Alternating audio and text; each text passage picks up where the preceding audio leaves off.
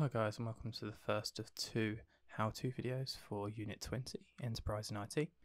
We're going to look at through the first assignment today and we're going to make sure that we're clear on the scenario that's required for us to follow along.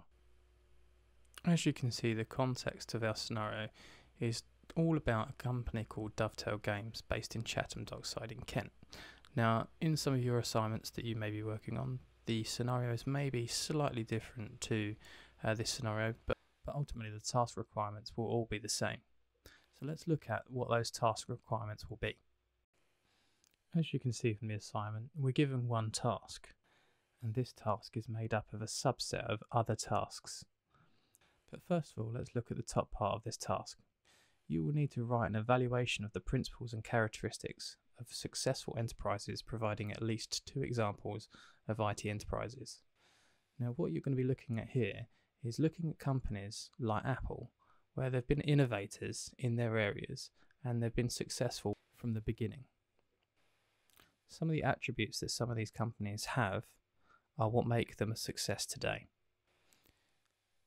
You need to make sure that you're drawing on varied information that leads you to a supported judgment showing your relationship between the context and your comments.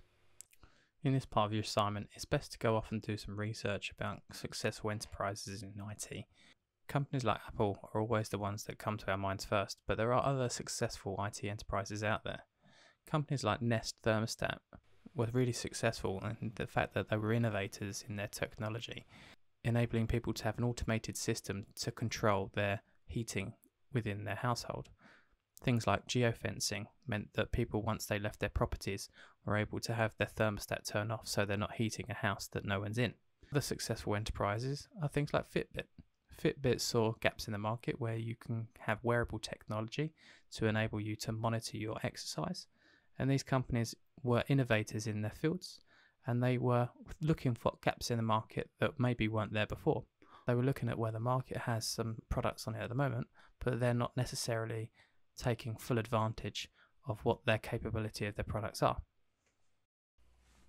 When we start to look at the skills that entrepreneurs and enterprises have, we look at things like ambition, drive, passion. These are all attributes that companies and individuals, as entrepreneurs, can possess. Companies like Tesla and SpaceX have shown that they are innovators and that they're prepared to take risks, and these risks can reap the rewards. Hopefully, in years to come, SpaceX will be able to make domestic and commercial flights to space. In the early 2010s, Apple were innovators in their own field. They looked at the market and saw that there was a need for something between a mobile phone and a laptop, something that was portable. So Apple invented the iPad. The iPad. So,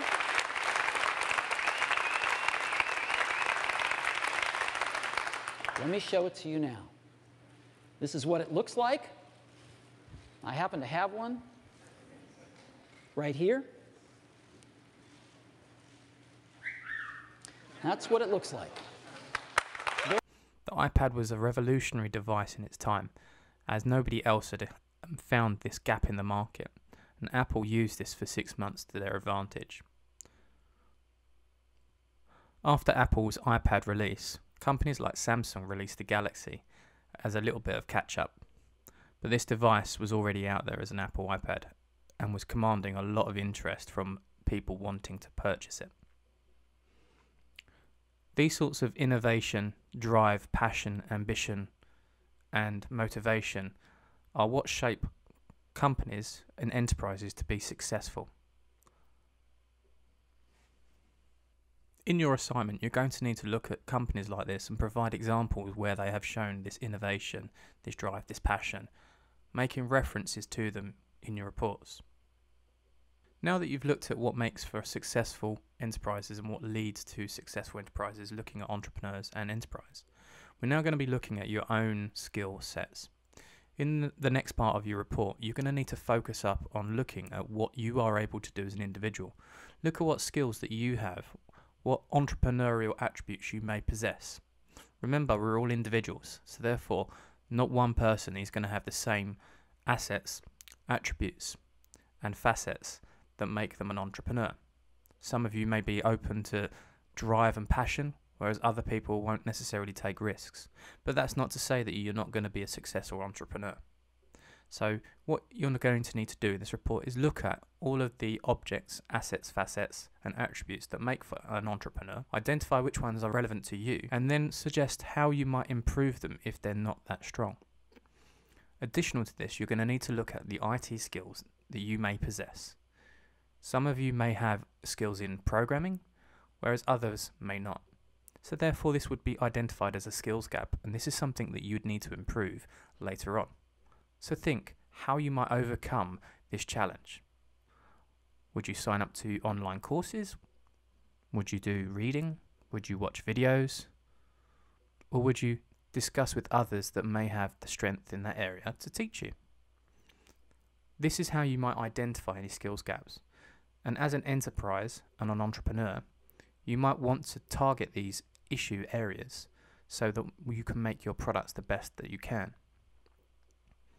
Other attributes that you might think, and actually you might forget, is the ability to drive. Some entrepreneurs need this ability as a skill, because you have to learn how to drive, to move and commute around the country to meet potential investors, your manufacturing plants if needs be, or to go and visit customers.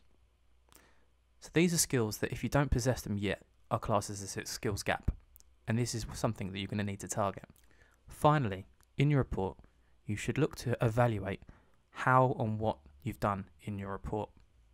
Discuss how your report covers what makes and leads to a successful enterprise.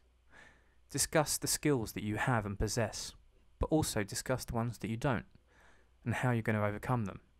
And finally, suggest that the examples that you've used are really good examples of strong and successful enterprises.